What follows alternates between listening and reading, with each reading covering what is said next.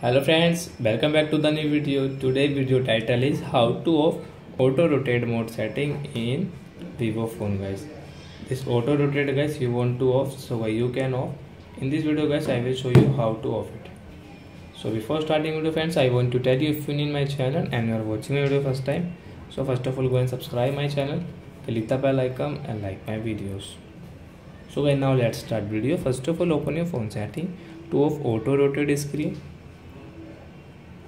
then guys click on display brightness setting. Scroll it guys. You can see here now auto rotate screen. It's on uh, you want to off. So I click here so I auto rotate screen will off. And guys now you cannot rotate your phone in vivo phone guys. It will not rotate guys.